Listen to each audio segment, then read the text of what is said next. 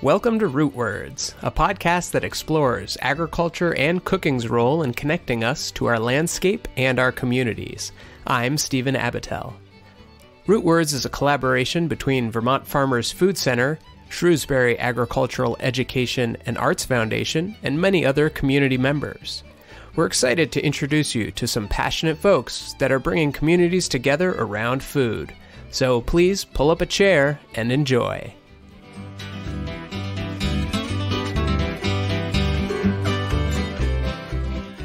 Root Words returns with a special five part series to take a closer look at the growing effort to localize our food system.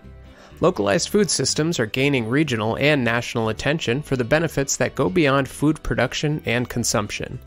Rural and urban communities across the United States and the world are building local food networks for greater resilience, stronger local economies, better health, and social well being. Vermont Farmers Food Center is a food hub that's creating an alternative to the existing food system by rooting food production and access in a particular place. In this series, we're going to explore how a focus on local food builds relationships with people and the environment. And we'll discuss how a local food center can contribute to the regional and global impact that localization may have on our economic and environmental sustainability.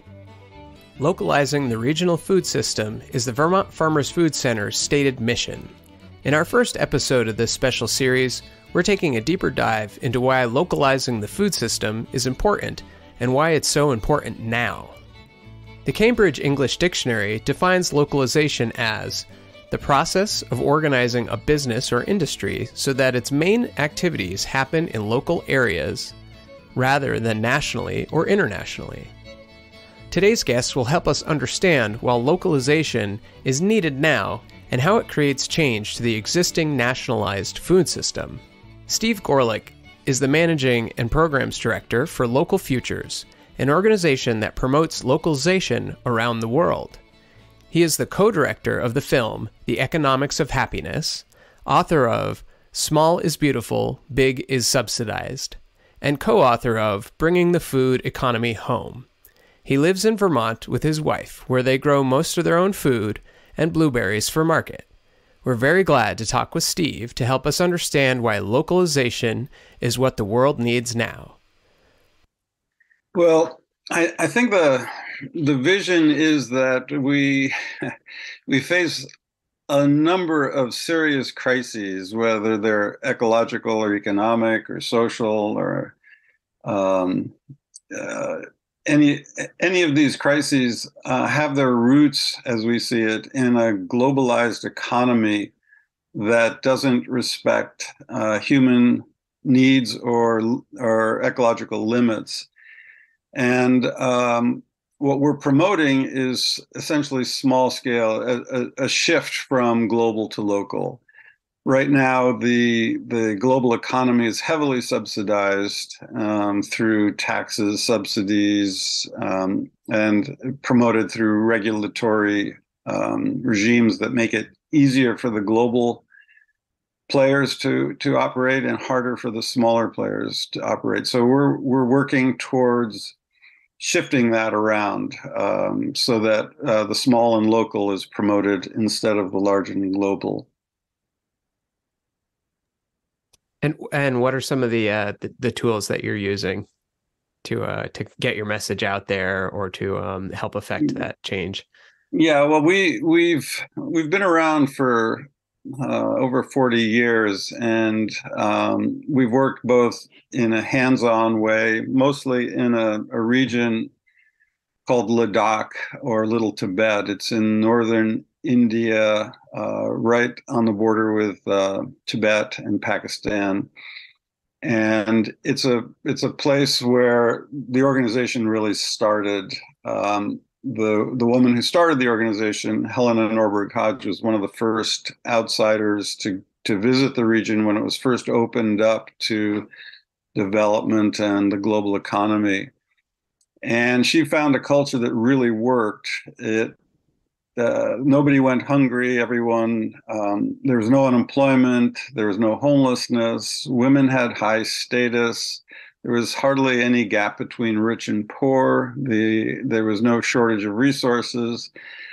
Um, there was no environmental pollution, and all of this uh, changed almost within within a decade of opening up to the outside world. All of the, all of those problems changed or, or appeared in Ladakh, and so it gave us a a window into what the root cause of the the many crises we face today.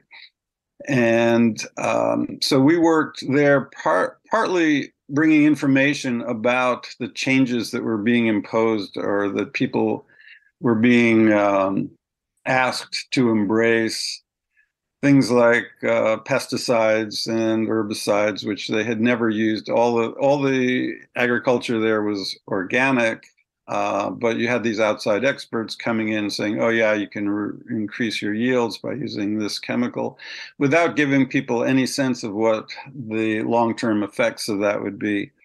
And uh, so there, there were lots of things like that that people with no experience of the modern world would have a, a really hard time making choices because on the surface things look like ad, they're advantageous, but in the long run not so. So we brought a lot of information about what development has done elsewhere. We also brought in um, a lot of appropriate technologies uh, to improve standards of living without tying people into the to the global economy and the oil economy. Once we realized that the problems in Ladakh emanated from this global system, that uh, there's no way to protect any one culture from this economy. We had to actually address the the global economy itself. So tell me a bit more about that. What are what is not working in our present economic system? What are some of those problems? And and and and then if you can actually get that a little more uh, whittled down to what isn't working for a place like Rutland County in Vermont. Yeah. You really almost need to look at the theoretical underpinnings of what drives uh, decision making in the global economy. And there's there's things like GDP, which almost every uh, country uses as a yardstick of, of economic health. And this is problematic because uh, GDP measures only um, uh, monetary transactions. It it just it aggregates all those monetary tr- transactions, and the more there are, the better the health of the economy is presumed to be. What this doesn't take into account is that uh, if you're spending a lot of money on burglar alarms and prisons because crime is so high, this is actually a negative and should not be added to the to the yardstick but subtracted from it. And the same with environmental pollution. Uh, if you have to clean up a toxic waste site, the money spent on that adds to GDP. At the same time, if you have an intact forest that is providing a lot of ecosystem services, you know, clean air and water, wildlife habitat, it, it does not enter GDP calculations until it's cut down and then it's added as a plus. So that's one of the problems with the the global globalized economy is that the measures the measurements that we use are just um, inaccurate and they promote growth without any sense of whether this is good growth or bad growth there's a there's also a uh, an economic theory that goes back to the 1700s called comparative advantage. And this, even though it really doesn't apply anymore, it still undergirds what policymakers um, uh, choose to do with their economies. And the idea of comparative advantage is that you choose whatever product you can produce most effectively and you focus only on that and use the you trade trade that product and use the proceeds to buy everything else you need so when it comes to food um, you end up with uh, countries that produce only coffee or primarily coffee, let's say, or palm oil, or wheat, or um, any any of these other globally traded commodities, and then use the proceeds to buy food to feed the population. This is essentially the opposite of what localization is about. Localization uh, is about meeting most of your needs or as many of your needs as close to home as possible. And when you are um, specializing your production in one or two items and uh, you're uh, buying everything else that you need with the proceeds from selling that product, you're very vulnerable to uh, changes in tastes or, or prices globally, or um, if one year you have a bad harvest in that one crop that you produce, um, you will suffer far more um, than if you had a diversified economy where even though that one crop didn't do well, you have other crops that you can depend on. And I think that um, I think Vermont historically had produced milk or dairy as its its prime. Well, not uh, historically. There was a period where it was sheep, uh, but in recent years, it's been dairy, and the dairy industry is now in a shambles in Vermont. Um, the number of farmers has dropped precipitously ever since the 1960s. Uh, and that that is actually in a sense it's a result of this idea of comparative advantage that that because uh, Vermont is suited to dairy production, that that should be our our main um, agricultural product. I, I remember when um, uh, Jim Douglas was governor, his uh, agriculture secretary was asked about the declining number of farmers in Vermont. And his response was, I don't care how many farmers there are, I care about how much milk we're producing. And this again is the opposite of localization because in um, a local economy, you want to have lots and lots of small producers. You don't want one giant monopoly that um, provides all of uh, your production, uh, or you don't, and you don't want um, one monopoly that sells everything that people need. We are there is there is you know signs of of change in that uh, there are uh, I don't think that any agriculture secretary in Vermont would now say that the number of farmers doesn't matter. It's only the volume of milk produced. Um, and there is more um, awareness of the benefits of local food. Unfortunately, there is a tendency to um, promote local food at home and exports abroad, which is what pretty much every state does. They they give a lot of lip service to the idea of local food because they want the want local farmers to succeed, but then they um, promote exports as well, so that they're actually working to undermine the economic viability of small farmers somewhere else. Uh, I think to to really have a a holistic and comprehensive view of localization, you have to promote it or, or, you have to recognize that it should apply everywhere, not just to your to your region, but everywhere.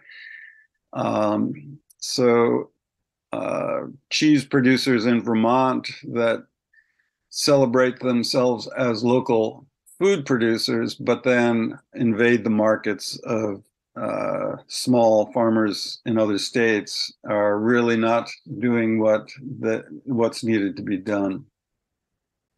Um, so the way what what's happened because of this, because of the idea of specializing production uh, for export and this global economy that's dominated by these huge agribusinesses, where the food economy is dominated by these huge agribusinesses that are trading commodities all over the world. What you end up with is truly insane, which is that um, countries will import and export virtually identical products and virtually identical quantities of them. And it's also that these traders can take advantage of minute price differentials or, um, in some cases, difference in labor costs. But for example, the um, the U.S. is the world's biggest exporter of beef but it's also the world's biggest importer of beef, with about $5 billion in beef imported and exported every year. Um, the UK, another example, exports about $250 million worth of butter every year and imports about the same amount. Um, and then uh, sometimes, as I said, this trade is not just to take advantage of some price differential or subsidy somewhere in the world. It's about taking advantage of cheap processing labor. And an example of this is that um, shrimp that's harvested off the coast of Scotland is shipped 6,000 miles to Thailand just to be peeled. And then it's shipped back to the UK to be sold to consumers. And this sort of thing happens all over the world almost every country does it. And well it's not the countries that are doing it it's the the agribusiness traders that are doing it. Um, and one might wonder how this is, passes muster with things like the paris climate accords that uh, food is being needlessly shipped sometimes across entire oceans uh, when the identical product is available right next door. And one of the reasons for that is that um, international transport is off the table for the climate negotiations. If you ask what what you know what country is responsible for all the bunker fuel in all the ships that are crossing the oceans with food, um, no country is those are completely excluded. And the same with uh, with global um, air transport. Um, the jet fuel is not counted.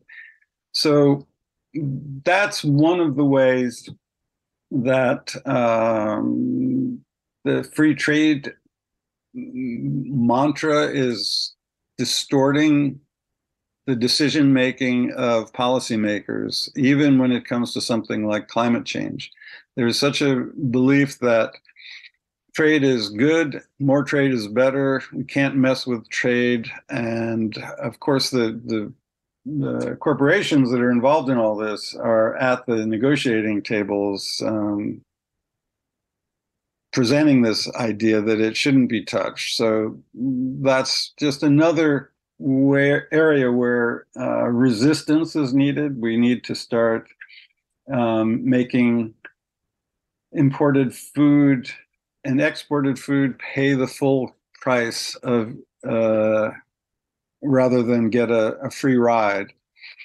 Um, you know, when you go into the, the the market and it looks like local food is more expensive than imported food, a big part of the reason is these subsidies and regulations that are so skewed that they they do benefit um, exported and imported food over local food. So that's that's just another area where we really need to pay attention and um, argue for something that's that's more sane. What are localization's impacts on the on the region? So if we are localizing, uh, what do those impacts look like for the region, and then even I guess globally, what is it? What are the impacts of localization on the global market? I mean, at, at Local Futures, we talk about uh, the need for two kinds of action resistance and renewal. The renewal side of things includes um, all the farmers markets and CSAs that have sprung up in Vermont, all the home gardens and community gardens that are already providing local food. The resistance side of the equation, um, as I said earlier, it's a it's about educating ourselves about how the global system works and communicating that to friends, neighbors, family. It involves understanding how so called free trade treaties have given global corporations power to invade local economies worldwide, how they've stripped even national governments of the ability to protect local resources and labor from um, from these global corporations. Um, we need to look at how the global food system is subsidized by our own tax dollars, both directly and through, um, probably more importantly, through infrastructure spending, particularly in transport, uh, things that make imported food less expensive than local food. So, what we need to do in terms of resistance, um, one of the things we can do is to tell our elected representatives that we don't want Walmart and Cargill subsidized any longer. We want small farmers and local businesses supported instead. Um, so, without both of those things, we're not going to see as much change locally, regionally, or nationally, or globally as as we could the global system is so large and powerful that the impact of any one local initiative can easily seem pretty insignificant by comparison.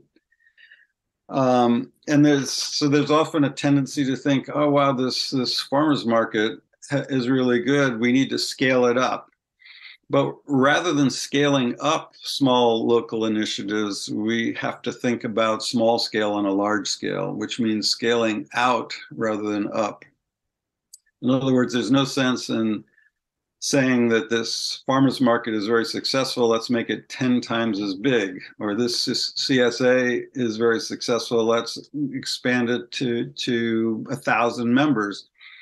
Because then you end up starting to replicate the the problems of the global system locally. You're you're um, by scaling up, you are making, for example, a, a, you know a big regional farmers market that attracts people from all over the state. Well, everyone is driving further. The food is traveling further.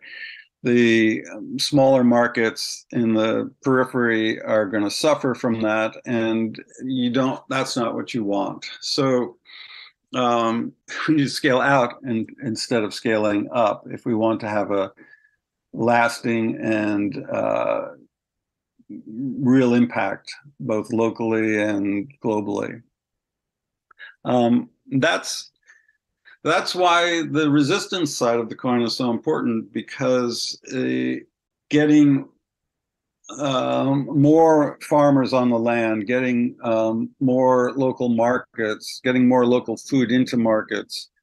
Um, it's it's you're running against uh, both the subsidies and the regulations that that impede the local. And in terms of the regulations, I would just mention right now the the really onerous rules around raw milk and on-farm slaughter that make it uh, almost impossible, or at least very difficult for small farmers to legally sell those products even to their own neighbors. So there, there's things that could be done um, at a very local, statewide level that could uh, really uh, make a difference. And uh, there's lots of things that could be done at a local level, at a global level. And unfortunately, those are more difficult. They involve things like um, renegotiating trade treaties, um, that sort of thing. Um, but all of those, for, for there to really be a shift, um, all of those things need to happen. What what would help that happen is if um, local and state and national governments stopped supporting the large and global and supported the small and local instead and that means everything from looking at everything from um, tax policy to subsidies to regulations, all of which currently support the large and global. And if we shifted that, it would be much easier to scale out um, the local renewal issue uh, initiatives that are so successful already. To get a better understanding of the impact localization is having in our Northeast region, I sat down with Shane Rogers with Food Solutions New England. Food Solutions New England is a multiracial network of organizations, businesses, people, really anybody who is striving to work towards a more just and equitable food system in the New England region. And what we're trying to build is a regional food movement that aligns and grows together to really make some transformative impact. And our role specifically, you know, we work in four impact areas around network expansion and movement weaving, equity leadership development and practice, regional policy coordination, and narrative strategy. But the folks who are involved with Food Solutions New England, the people who are a part of the network, the organizations, the businesses, they work on every facet of the food system from soil health to and compost to supply chains to what we're pulling out of the ocean for seafood and coast to labor. And it's a recognition that our food system is large and complex and has so many different players in it and so many different people that are interacting with it and if we want to again build a climate resilient future, a future that is based on the needs of the community, we all have a small part to play. And we all have a part to play in supporting each other as well. When you start to look at the problems of the food system, you know, it's my personal belief that a lot of it comes down to the fact that our food system was never really designed to actually feed people first and foremost. It is designed to derive profit. And our economic system is set up in a way where folks, even in Rutland County, who are working in the food system, who maybe want to center community first, are still forced to make decisions about what is going to bring in enough money so they can afford things like housing and healthcare and their own food for their own table. So while the food system in and of itself, you know, while we may be working on the food system in and of itself, we have to first recognize that it intersects with so many of the other issues that are present in our communities and in our society today. And this really manifests in a lot of ways, right? This manifests in folks not being able to access local food because the costs are so high compared to the subsidized national and international food that is being shipped in from around the country. In turn, that exasperates our climate chaos that we're seeing ravage New England. I mean, Vermont just experienced historic flooding, as we all know. And we can't separate that from the fact that our supply chains are long and complex. And our food is coming in not only just from California but from overseas and it's contributing to the climate changes that we're seeing and is exasperating some of that chaos that we're continuing to have to grapple with. And we could run through that list of issues right? Food insecurity remains high we see young farmers not being able to access land because land has become an investment. It's a finite resource that folks with more capital are able to uh, invest in. Folks who have been traditionally subjected to marginalization are continuing to be boxed out of food production and being able to access food that they find uh, culturally appropriate, that they want to be eating. So our food system again it's complex it's huge and can feel relatively overwhelming. And one of the things at food solutions new england that we really like to lift up is that there are community solutions to all of these problems.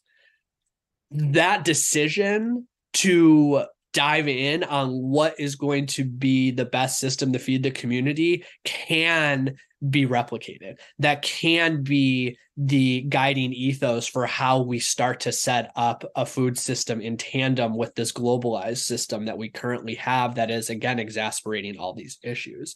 So when we look towards where we want to go, we know that the community has to be consulted first and foremost because the community are their most best experts in understanding how best to feed themselves. And to be clear, I'm not talking about isolation in any way. We still have to maintain relationships with communities all over the map, we still have to be able to respond to disasters because the fact is that we're going to keep getting them we're going to have to keep adapting to them. And rutland has a huge role in, to play in supporting places you know like middlebury burlington montpelier um, and other places in new england when things hit the fan and all of a sudden folks are cut off from those local supply chains as well as the global supply chains. Rutland has a role to play. In the 19th century rutland was a regional hub for the railways some intrepid folks think that Rutland is a prime location to once again be a regional hub, this time for a relocalized food system. Back in episode 9, we examined the concept of a food hub.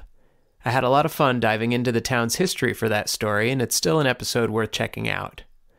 But to learn what role food hubs have to play in the future of Vermont's agriculture, I spoke with Ellen Kahler, Executive Director with Vermont Sustainable Jobs Fund and a member of the Governor's Commission on the Future of Vermont Agriculture. So, Ellen, how do we see food hubs supporting Vermont's agriculture in the future? Yeah, I think food hubs are playing an increasingly important role um, in the distribution of of local food products. I mean, what we have seen over the last 50 years, and even more so accelerated in the last 20 years, has been the consolidation in the food system where there are fewer and fewer distributors, there's fewer and fewer retailers. There's something like four major retail chains that own something like 60 to 70% of all retail outlets in the country, for instance. There's like three or four massive distributors of food, for instance a lot of uh, your major retail chains own their own distribution system. They own the warehouses. And so they are are are price makers right? They they say how much they're willing to pay for the the product that a uh, primary producer is is is offering to sell through their channel. So so because of that consolidation smaller producers like what we have in vermont it's really hard for them sometimes to just get on trucks. And especially if if a, a, a, farm is really at the end of a dirt road getting uh, more traditional retail uh, d- traditional distributors to be willing to drive down that road to pick up a smaller quantity of product uh, sometimes they can't even get them to do that. And so for instance we used to have a really robust partner in this local food development work in Black River Produce before they sold to Reinhart and then who then sold to PFG Group, which is one of the largest distributors in the country. It's a multi-billion dollar co- corporation. What we've seen is that they have steadily dropped their services uh, to providing just trucking service, for instance, to smaller producers like what Black River Produce used to do and they're not willing to pick up larger or smaller quantities from from our smaller producers here in Vermont. And so there's a real gap then in the ability of some producers to get into wholesale markets, like to even get on a truck to then be aggregated to then go on to say uh, a Hannaford's or a Whole Foods in southern New England, for instance, let alone some other place in Vermont. So what you're what we've seen is there have been an increase in in some private sector smaller distributors like lesser distributing and Pumpkin Village and such. But then there's also been a rise and increase in in uh, the expansion and and and the territory, the ge- geographical territory of some of our food hubs, including the the Farmers Food Center, but also Food Connects down in Brattleboro and uh, Farm Connex, which is up serving the Northeast Kingdom and uh, places south, and the Intervale Center. All of these uh, food hubs that exist, they really specialize and do a phenomenal job of providing a service, distribution trucking service, as well as an aggregation and selling service to smaller producers in the in our in the state around the state and increasingly they're finding opportunities to uh, cross dock with each other so that if uh, for instance the farmers food center needs to get some of its the product that it's servicing uh, local producers in the rutland area needs there's some places in in, in um, let's say in Windham County, some retailers that would like to to to have those products, Food Connects can serve as a as a as a truck that you know could could be connecting up with the Farmers Food Center to then take that product down into Windham County and be able to be sold uh, to some of their accounts. So there's some real innovation happening at the food hub level.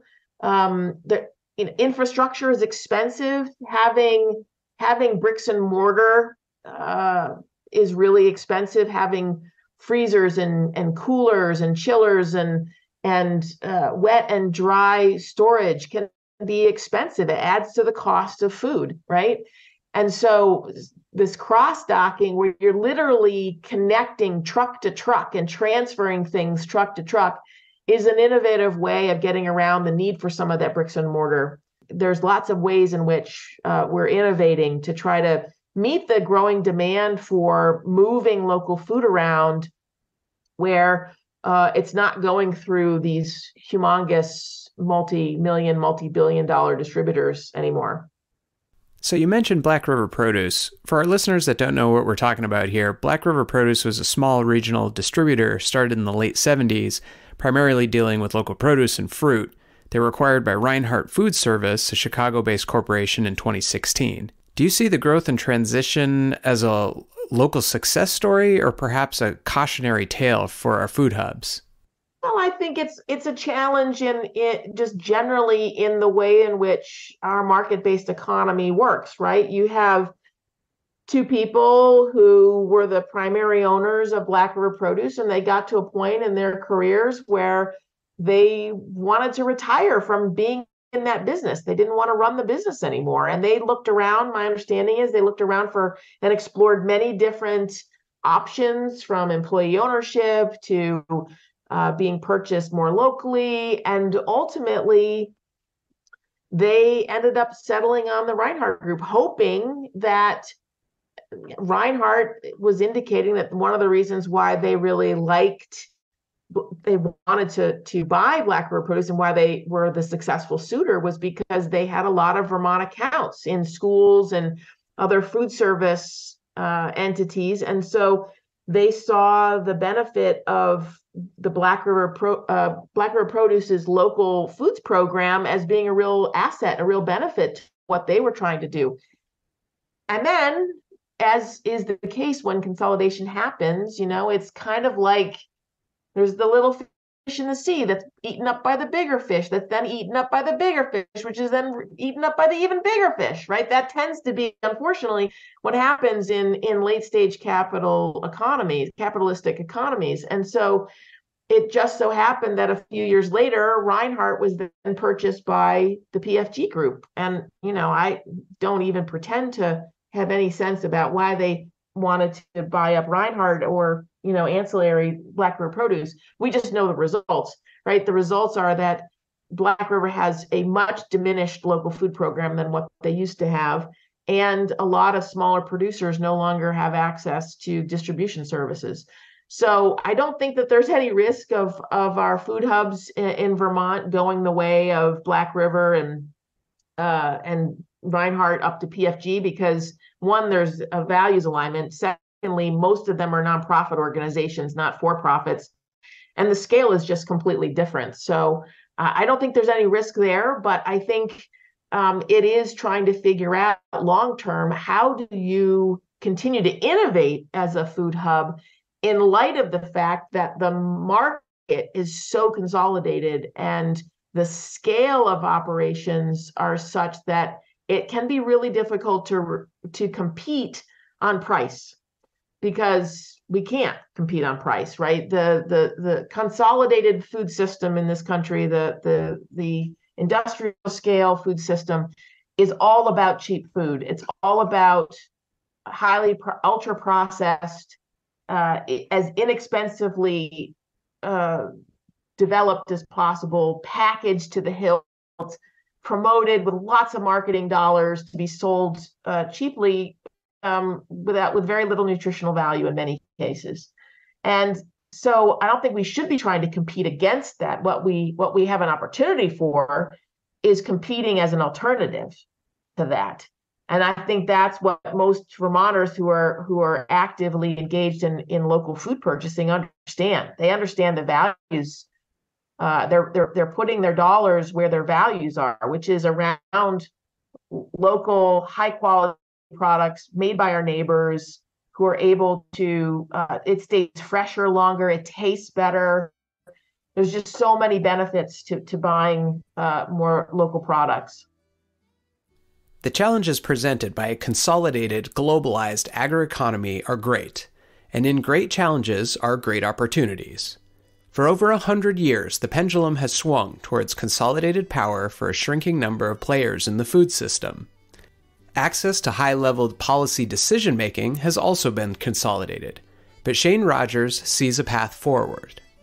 Really what it's going to take is the will of those in decision making positions to not only put the investment in but to take a really good hard look at whether those who are making decisions are the ones that should be making decisions right we do need to do and we do need a redistribution of power in our communities as well so that those who are most impacted are the ones that are making sure that their voices are heard so again, there's no snap of the finger to make this all happen.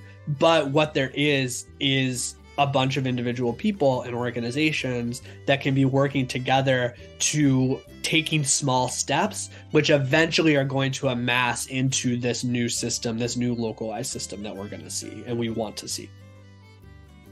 A localized food system built at the community level that balances the strengths and needs of the community creates more economic autonomy empowered civic participation, and community well being. On the next episode of Root Words, we'll explore a local alternative to global consolidation, the community food web. This episode was produced by Stephen Abatel and Julia Anderson. Special thanks to Steve Gorelick, Shane Rogers, and Ellen Kahler. To learn more, check out Steve Gorelick's films and books at Local Futures www.localfutures.org. Our musical themes are by the Salt Ash Serenaders. We are a project of the Vermont Farmers Food Center and SAGE. Thank you all for listening and for being a part of our local food system. We'll catch you next time on Root Words.